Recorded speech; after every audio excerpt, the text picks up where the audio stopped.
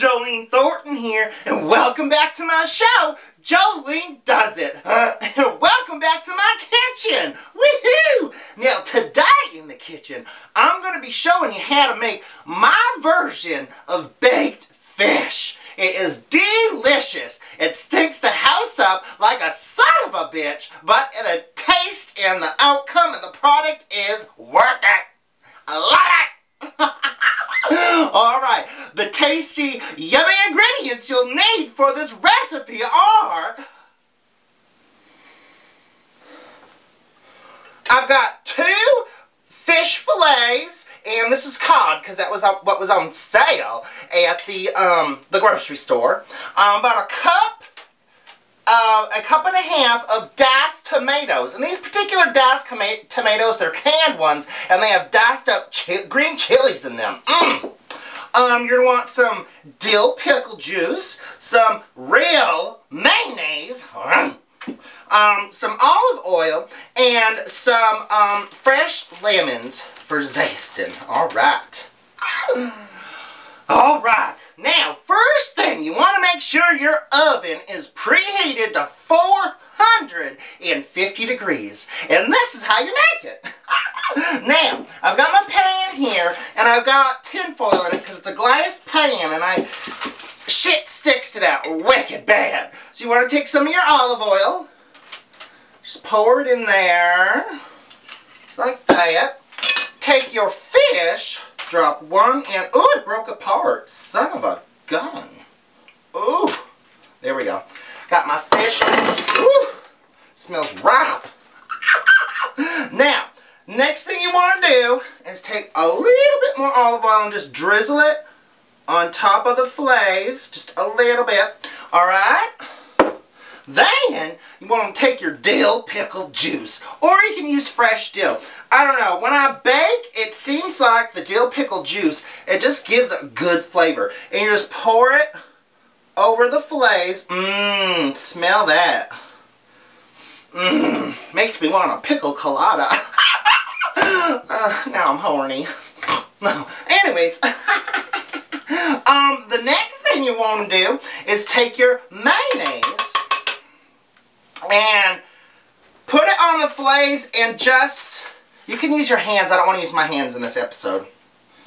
And you just spread the mayonnaise on top of the fillets. Not a whole lot, just enough to give it a little covering. Ooh, my oven's preheated to 450 and it's ready. Alright, and one more scoop for that other little in there. There. Now, what the mayonnaise does, it helps tenderize and moisturize the meat, the fish. That's what my prison mate, Marth, Big Martha, said to me one time. Anyways, I've been addicted to mayonnaise ever since. Alright, so we go ahead, and we got the mayonnaise on there. And, well, you'll see a picture at the end. Then you want to take your diced tomatoes and green chilies, and you know what? Just pour that stuff on there. Alright.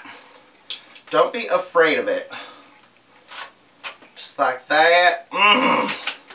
You're going to be real surprised with the flavor that comes out in this. I'm so excited. Alright. Yeah. Just like that. Alright, make sure your fillets are separated in there so they can bake evenly. My tomatoes. Alright. Alright, so we got it looking like that. Can't tip it up too much. Um, but like I said, you'll see the picture afterwards. And then you just want to go ahead and put it in your oven for 6 to 8 minutes. I usually put it in about 8 to 10 because I don't flip the fillets and I want to make sure they're cooked nice and I just not dry them out because there's so much moisture in there. Uh, delicious. And we're going to save the, um, the, the fresh lemon for after. So let's go ahead and go put this in for about 8 to 10 minutes and I'll be back.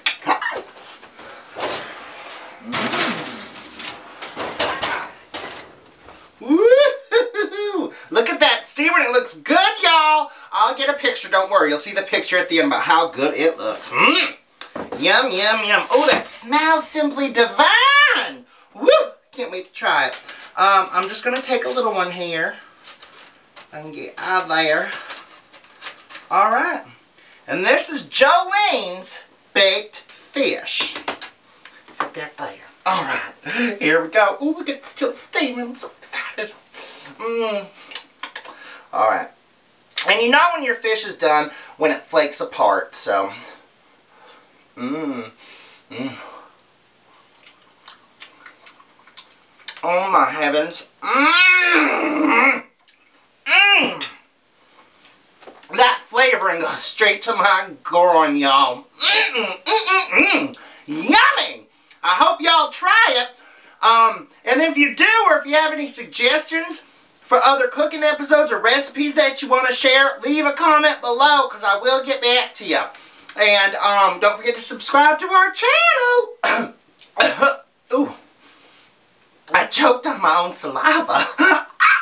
Alright, thanks for joining me in the kitchen today, y'all, for making my version of baked fish.